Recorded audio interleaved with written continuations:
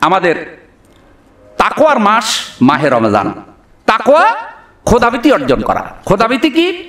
খাসিয়াতুল্লাহ ফিসির আলানিয়া। গোপনে এবং প্রকাশ্যে আল্লাহর ভয়।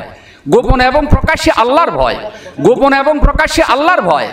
নবী সাল্লাহ সাল্লাম নিজের কলবের দিকে ইশারা করে সাহাবা একরামকে বলেছেন আত্মাকুয়া হা হুনা আত্মাকুয়া হা হুনা আত্মাকুয়া হা হুনা তাকুয়া অন্তরে থাকে তাকুয়া অন্তরে থাকে তাকুয়া কলমে থাকে। প্রিয় ভাই সব কলব অন্তর এমন এক শক্তিশালী জায়গা, পৃথিবীর কোনো ক্ষমতা সেখানে পৌঁছে না। একমাত্র আল্লাহ তালা যদি কলবকে কন্ট্রোল না করেন।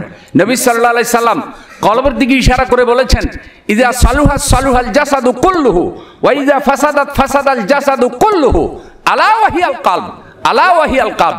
সাবধান, তোমাদের দেহের মধ্যে একটা গোস্তের টুকরা আছে, এটা যদি সুস্থ হয় পুরা দেহ সুস্থ থাকে। এটা যদি অসুস্থ হয়ে যায়, পুরা দেহ অসুস্থ হয়ে যায়। আলা ওয়াহিয়াল কালব, সেটা হলো কল্প সেটা হলো আত্মা। পাপের দ্বারা আত্মা কলুষিত হয়।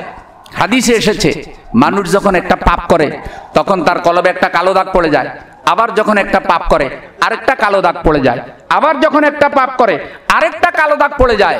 সাহাবা একরাম জানতে চাইলেন, হুজুর এই কালো কলব কালো অন্তর পরিষ্কার করার ব্যবস্থা কি?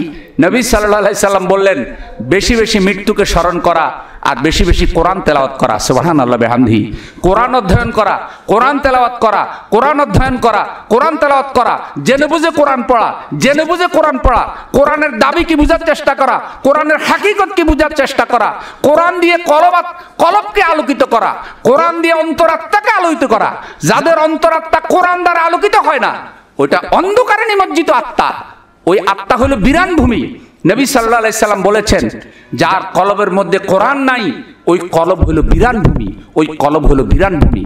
আল্লাহ আমাদের কলবকে আল্লাহর কোরআনের এলেম দিয়ে আলোকিত করার তৌফিক দান করুন।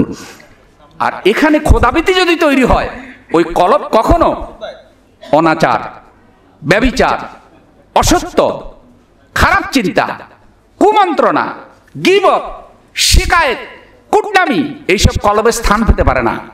মানুষের আচার আচরণ দেখলে মনে হয় চব্বিশ ঘন্টায় কিছু মানুষ হিংসা নিয়ে আসে। চব্বিশ ঘন্টায় কিছু মানুষ বাদানুবাদ নিয়ে আসে। চব্বিশ ঘন্টায় কিছু মানুষ কুকর্মের চিন্তা, তার কলপটা একটা সেকেন্ড খালি নেই কুকর্ম থেকে। নজবিল্লাহিমিন জালে আসুন, অন্তরাত্মাকে পবিত্র করি।